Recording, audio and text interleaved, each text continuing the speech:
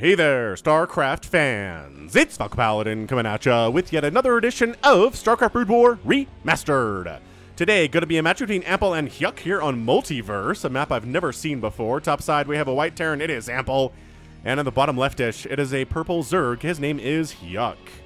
Alright, man, so this is Multiverse. Got this replay from RJB as part of a giant replay pack that he sent to me a couple years ago. Working my way through it, and okay, so... There's a wall down the middle of the map consisting of assimilators, Protoss Xel'Naga temples, and little uh, little walls here. So can we? What?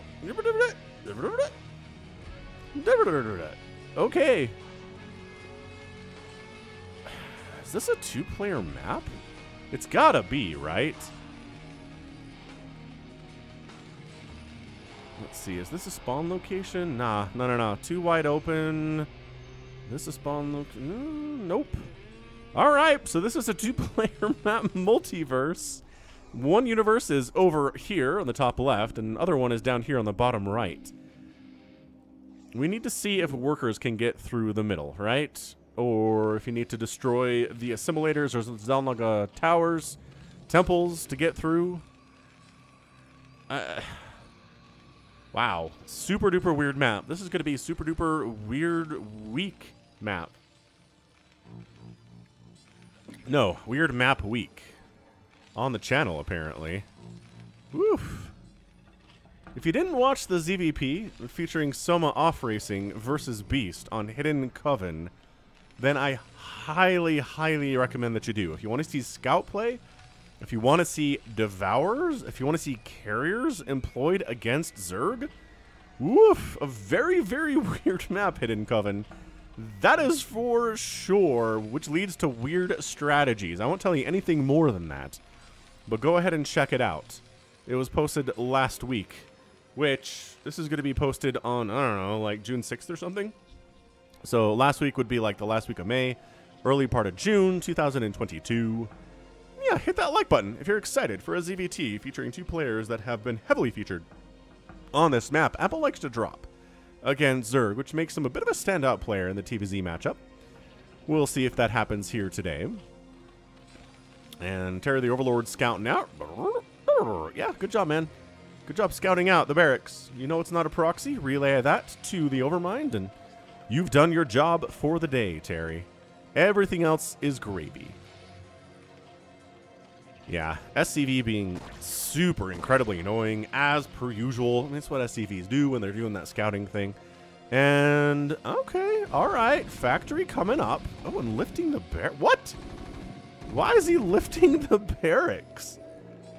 Is he going to scout it out? I think he wants to scout it out, but also we wants to kill this overlord so it doesn't see the barracks scouting out. Because this looks like a mech opening play from Ample, which I don't know that I've seen him do. He really loves the 8-rack stuff. He's very good with Marines and Medics and Firebats and Science Vessels and Dropships with the aforementioned drops. So it's interesting. I've never seen him open mech before, but that's got to be what this is. You don't lift the barracks at this stage of the game unless you're just playing and going mech, mech, mech all the way. Man, this is really vulnerable to like 12 lings showing up and just kind of winning. But at the same time, we didn't get speed for the lings. We went for a lair first, which the SCV scouted. So speedlings aren't going to be a problem. And actually getting machine shop first. I thought he would make a Vulture first of all, but he's going Machine Shop into Vulture Speed, man. So we are opening Vultures. The mech is real right now on this map. And I don't know if that's because this is a mech a mech favored map. I want to say like this is a good place for tanks to set up, but I don't know. Can't really hit the hatchery from there. That is way too far. Can you? Oh no no no no no! Wait wait wait wait wait wait wait wait wait. Oh, this is bad. This is some high ground shit. Oh man, you drop tanks up here. You protect this area with like some vultures. Okay, I'm seeing the future here, ladies and gentlemen. I'm probably seeing what our guy Ample's going to try to do. We'll see if it works out for him or not. Now, Macro Hatch, walling this off. Sunken's going to be able to kill this Vulture before he gets anything done, I think. He's going to come in. Yeah, doesn't really want to... Doesn't really want to go in there. Recognizes what's up. And that's Spire. So, I mean, Zerg player doing all of the normal things here right now. He's going for a Mutalisk opening, which means we need to start making... I mean, at some point, we need Charon boosters start making some Goliaths, but uh, that's not really in the plan right now for Ample. I guess this, he needs to finish the Vulture Speed first. If he doesn't go for Charon Boosters now, I'd be really surprised. I mean, he's yeah, that's your second fac. What's he have the resources? Yeah, doesn't have the minerals for that. We'll keep an eye on the production tab. Make sure he goes for that Charon boost eventually here. Starts making some Goliaths because if these mutas show up and it's just vultures on the ground, vultures and tanks, you're just a dead man. I mean, he's not getting an engineering bay. Uh, he's getting engineering bay. I'm a liar. Engineering bay is in production right here, dummy. We got this. Uh, three vultures trying to... Uh, oh, man. Taking some sunken shots, though. These lings... Okay, one of the vultures dies. Again, they're slow lings. Oh, they're denying the gas here at the natural base, which is huge. Oh, makes Hyuk not be able to make any more, well, not that many more mutas. He's got seven. I think he was planning on going for some more. Sunken. Oh, man. Sunken's got a couple kills to his name. Really doing some good work here. So, anyway, production tab says, Behold, Goliaths. Machine shop says, Behold, no upgrades. No Charon boost upgrade at all. No siege mode, no nothing. These are just regular old, boring old, standard range Goliaths that aren't awesome, but turrets are pretty good. So yeah, the turrets are going to help here. Turrets working together with the Goliath. I'm watching that production tab. And I'm waiting for him to get Charon because he knows this is Mutas, and this might just be a thing where Hyuk wants to go for a lot of Mutalisks and just try to win this thing. There's your Charon boost upgrade. But by golly, it feels really late. So the Mutas are trying to find what damage they can without running afoul of the turrets. Okay, so he's killing the guys on gas, which is pretty good. Denying the gas here on the Terran is pretty fantastic. Muta's taking some hits, though. Ow. One Mutalisk does go down. And yeah, Goliath range, the Charon boost upgrade doesn't give them any extra damage. It just allows them to get an extra hit in as the Mutas are, are flying around, sharking around the base. Let's see. Third base attempt here. What is this thing? That's a door. It doesn't go up and down, does it? Why would you use a door mechanism? A door do that if it doesn't go up and down. Maybe it does go up and down. Can you just you don't have to go up and down. Drones can just walk right through there. It's cool. Everything's fine. We're learning things about this map now. He's taken a third base where there isn't any of us being gas, which I find really interesting. And why are there little individual mineral patches here? wonder if you mine them, does that door open? This is an interesting, my gosh, interesting map a week. It's looking pretty good. I gotta say I'm having a pretty fantastic time with it. You know, I'm gonna cast another Hidden Coven game for tomorrow. How about that? I go more Hidden Coven. Or Coven. I'm not man. I'm just really uncertain on how to pronounce that exactly, but yeah. We're going for all the Goliaths in the world versus all of the Mutalisks in the world, which we've seen before. We saw Ample try it against Soma on Colosseum on a map that I did a couple weeks ago. And by golly, Soma made more Mutalisks than I've ever seen in a game of StarCraft in my entire life from professionals. It was all of the Mutalisks. It was kind of awe-inspiring. They blackened the sky. It was like watching a documentary. He really wants to kill this refinery, but it's being repaired. But it's not being repaired fast enough, and it's dead now. So that's awesome. Sniping the refinery. Taking some hits on your mutas, but I think he kept all 11 of them alive. That's pretty fantastic stuff. Now, getting some Zerglings to help with these Goliaths is awesome. The mutas on their own are okay. Oh, see, Vulture got up here. He dead now. we are just making all the mutas, aren't we? Mutaling. Mutaling, mutaling, mutaling. This feels extremely extremely StarCraft 1, and even early Brood War days, where Mutas and Lings were just a beautiful, perfect complement to each other. We didn't get that many Lurkers in the Brood War days, super, super early. We're not sure how to use them yet. So Mutas and Lings working together were just, oh, they were both fast. The Lings were good against ground targets. The Mutas could obviously handle uh, air targets for the Lings. They were just the perfect combination. And of course, Metabolic Boost is required, which is coming in now. So we're going to see that. Plus, there is a Hydralisk Den on the way. So we might get some Lurkers in the mix. I don't know. Third base is pretty happy. No sign of a third base for Ample. I think he was trying to send that SCV out to expand, but that got really picked up and sniped by the Mutalisks, unfortunately, for the Terran player. Working on Siege mode. Okay, recognizing I can't just win this game with Goliaths alone.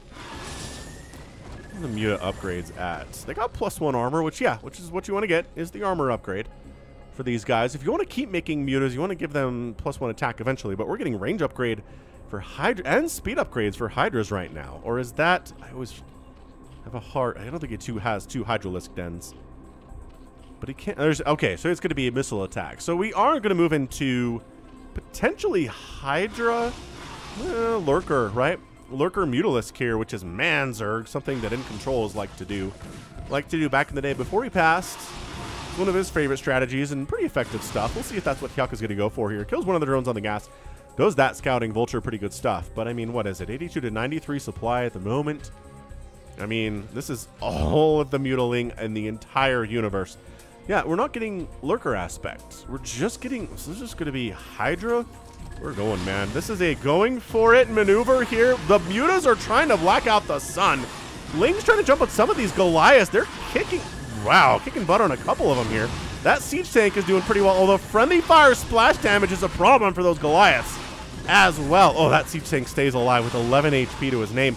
The mutas are just kind of winning here. Although, uh, hang on, hang on. The missile turrets are causing some major problems there too, and the mutas actually have to back out. They're doing pretty well until they were fighting in range of those two turrets. Instead of up here, there's only one, I guess there were two turrets maybe there too, but right here seems to be a pretty good sweet spot to fight. So it's 73 to 69 supply. Ample kind of weather that storm pretty well. He's got a good handful of Goliaths remaining. He's got plus one armor on those dudes. Some of them are injured, but look at him. He's actually repairing his Goliaths too, like a good Terran commander should. But a fourth base is on the way here from Hyuk. This might be a Zerg win here today, ladies and gentlemen. If I mean, if we can't get a third base for Ample, I don't think he feels really strong enough to move out either. If he leaves, the Mutas dive bomb in. Uh, he's trying to get up to a Radiate, but he's just now making a starport, which seems late. Uh, here at 11 minutes, based on everything else that's happened in this game. Yeah, now we're getting range upgrade for Hydras and missile attack upgrade for Hydras, plus two. These are going to be plus two Hydras with speed and range. Pretty scary units, and the tank count's not that high right? If there were three, four, five tanks back here, Hydra's busting in here would be pretty impossible, but one siege tank, which has been repaired again. Ample's did a good job with that. Great job with that. Okay, fourth base pops for the Zerg player. Not going for Hive Tech at this stage. I've not seen a Queen's Nest come through that production tab. So he's going to try to win this thing with Lings, Hydras, and Mutalisks. Oh, I mean, no, just fewer Mutas, honestly. He's got some Mutas sharking around. Look at him just completely be ready for this Vulture. My gosh, what a boss here. This Vulture's ready for this too, though. Oh, you're getting hits off. Wow, getting hits off on that dude. That was kind of amazing. Get out, drone, run. Ah, he didn't run. He didn't run. This Vulture is running. Is he going to make it out? He's juking. He's juking. Ah. Not able to do it. There's a Queen's Nest coming in now. Okay, Spider Mine Research Love. And that versus these Lings and these Hydras especially. This SCV is going to try to expand, but I think these Zerglings caught wind of what was happening here. So Ample is super contained here onto two bases. Can't be happy about that at all. Oh, the Muta's just, again, enough of a threat to her moving out with enough, without enough anti-air is just suicide right now for Ample. Gonna try to take down these assimilators, open up this bottom right-hand corner of the map to regular attacks. Oh, Hydras can walk right through here. What is the point? I don't understand. Okay. Spider Mines getting hit, getting killed. Where are the overlords that are supposed to be flying with you providing detection? All right, Ling's running through. We are willing to sacrifice our little Zergling bodies to kill Spider Mines. I mean, Hyuk is no stranger to that at all. They just let this dude go because there's a bunch of Hydras right in that choke waiting for this Vulture to show up. So yeah, Ample's on two bases in 13 minutes. The Zerg player is on four. Having double the bases of your opponent is really good in every matchup. But as a Zerg player, it's pretty good. It's not amazing. 4 to 2 is good. I mean, this is, boy, Terran that can't get a third base. I mean, especially against Protoss, but it still counts against Zerg is really problematic. Ample, he's building more turrets. I think, again, he's worried about this Muta count, but I don't think he should be. I think he's miss... He's misinterpreting what's happening here. Is this going to be drops? Oh, this is going to be big Hydra Ling drop. Oh, this is going to be massive. Right as Ample is moving out to... Is he... Yeah, that's it. This The uh, Pneumatized Carapace, Ventral Sacs. We're getting speed. We're getting drops for these Overlords. It's going to be... Man, this upgrade takes a while. Ample's moving out, and that's the thing. I mean, I think Hyuk wants to go for this drop now, but that upgrade is ponderously slow.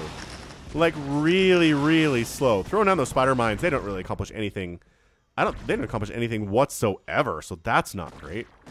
Uh, these hydras are like, no, no, no, no, don't look over here. Nothing's happening over here. Radiate's finally getting researched, but does it really matter? These vultures are like, what is oh, what is happening down here? Well, the answer is there's some hydralisks preventing you from getting in there and finding out, Senor Vultures. And does he decide not to go for the drop? It looks like he's maybe sending his hydras up here. He's like, look, if you want to engage here, go for it. My gosh, he's busting right on in.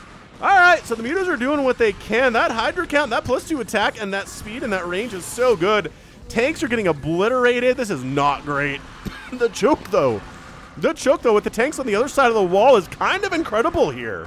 For Hyuk all of a sudden.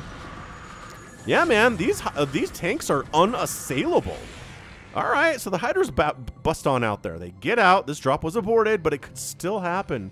That's why some turrets are being built along this southern side. He recognizes the drop potential here from Hyuk, too. Hyuk is a Zerg player who's fine with dropping. He's making more and more Hydralisks. As long as he can deny the third base from the Terran, I think he's going to be fine. He can afford to make some bad trades, which he's done. I think that was probably a bad trade on his part. But as he have plus, uh, working on plus one ground carapace. He's going for that drop. Which was that a scan? What's he scanning? He scans the Hydra count continuing to pop out. He recognizes the hive is not done yet. So he doesn't have to worry about defilers at all. I'm going to try to do that more often, I think. I'm going to try to do that more often. When I hear a scan, just remove the other player's vision for a minute. And then we can see what exactly is being scanned. Okay, these Hydras are going to die. They are too smart for that. They back right the heck on out there. And yeah, he's sending some army up there to make sure he can actually get a third base. But it's a 16-minute third base. It's not great. I mean, it's more SCVs. okay, Hydra's unloading. This is a pretty good position. If these Overlords all die, that'd be bad, because I think he wants attack for Spider Mines. So he doesn't lose all the Overlords. Okay, so this dude has exactly 69 HP, which, as my kids say, is a funny number. I don't think they know what it means, but they know it's a funny number. Hydra is trying to snipe down some of these supply depots, maybe supply blocking. Maybe getting a, oh, a science vessel here would be pretty fantastic too. No, these Hydras pull back. Do not engage. Academy getting killed is fine. It's a fine target, I suppose.